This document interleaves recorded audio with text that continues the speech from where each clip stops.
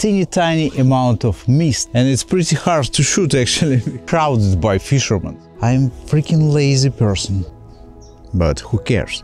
Good morning guys, welcome back to my channel, I'm really glad you're here. And welcome to the swamps of Shodrosh, which used to be a lake or a river or old part of the Danube River, but now it looks like a swamp. The level of water is dramatically low. All this place, all this grass was underwater just two weeks ago.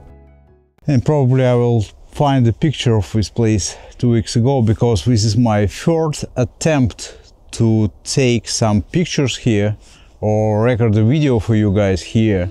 This is my third try.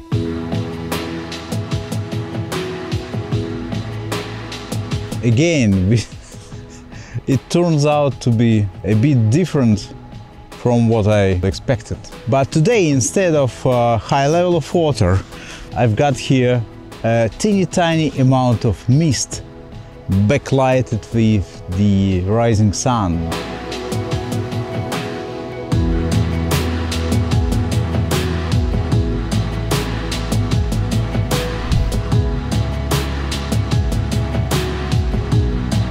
Trying to hide my camera uh, with the shadow of this uh, of the branches of this tree.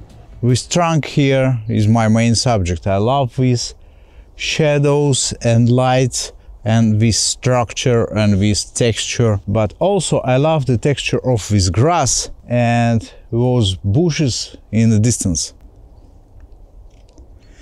I have to take at least two shots to exposure stack this image. One shot is for the shadows with the clipped sky because of overexposure and the second image for the highlights. And after all I will stack these images in Lightroom.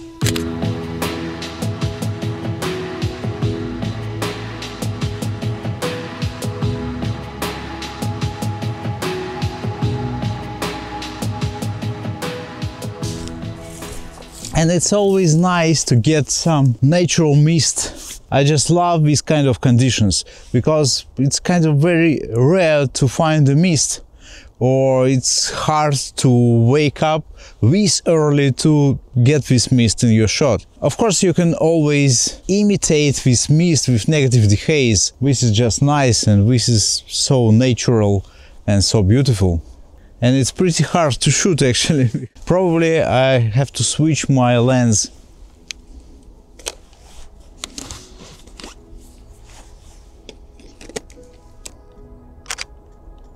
But even with the telephoto lens, I'm just struggling to find this type of composition. Because, okay, we got some kind of mist here, but in this case I got a lack of subject probably I have to stay by this tree here and in this case this branch will be a subject in my shot in front of these rays of sun through the mist.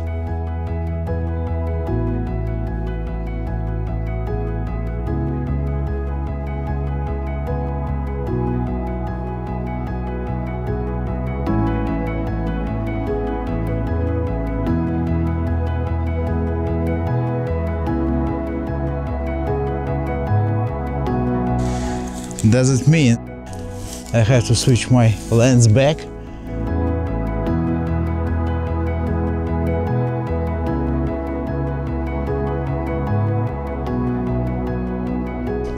Actually, this place is for fishing. And previous two tries, I was competing with fishermen for the access to the water. because every every single point, every single place with direct access to the water was covered, was crowded by fishermen. Today there is no water and fortunately no fishermen. But also we got no reflections I was hoping for. My plan was to shoot was autumn colors reflected in the water, still and calm, with, you know, with this small amount of mist over the water the destiny of a photographer. You'll never get something you were hoping for. In the majority of situations, you'll get something different.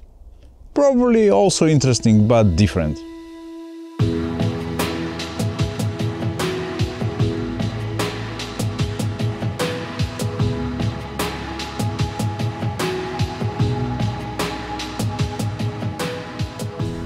Seems like I got this uh, proper combination of the focus length of the subject and framing and lights all the pieces of puzzle just combined nicely this time.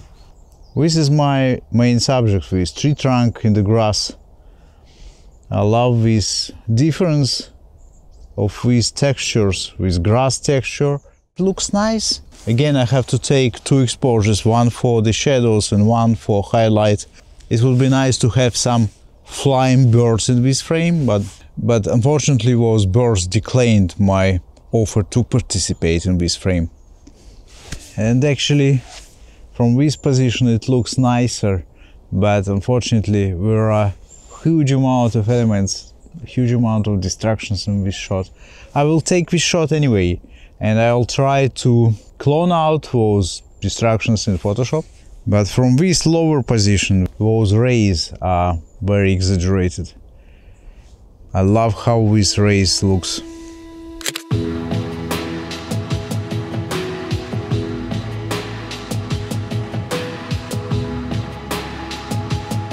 If you compare efforts to results, probably landscape photography is worst way of spending your time. But who cares? Results.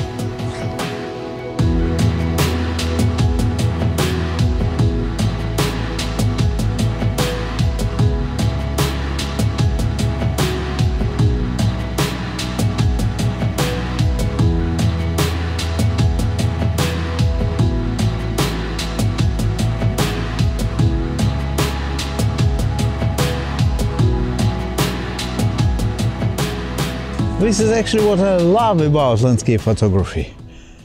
I just love this possibility to just take no care about results. Fortunately, in landscape photography, you have this possibility. Shut up.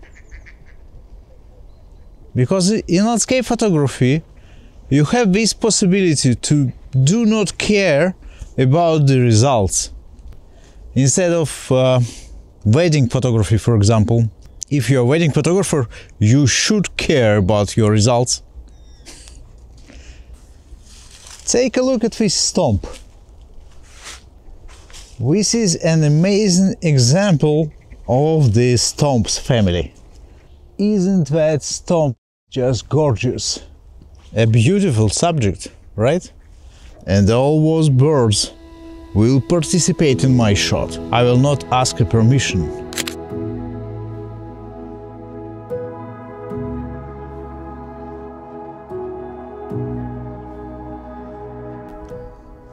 I don't want to run away, I don't want to switch locations. I'm freaking lazy person. If I give up to my laziness, I will take no shots. One more composition for today. I just really love those islands of grass steering from water and I love this type of haze in the distance.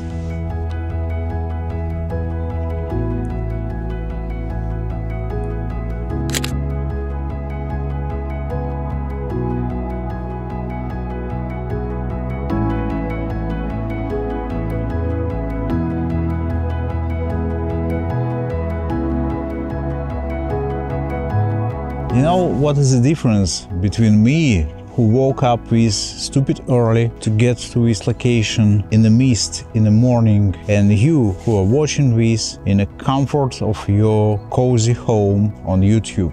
The secret is there is no difference between us because you and I we have the same passion about photography and if I can get up early and get to the location and just walk by the swamp. That means you also can do something useful. For example, hit the like button, subscribe to my channel and push the notification bell.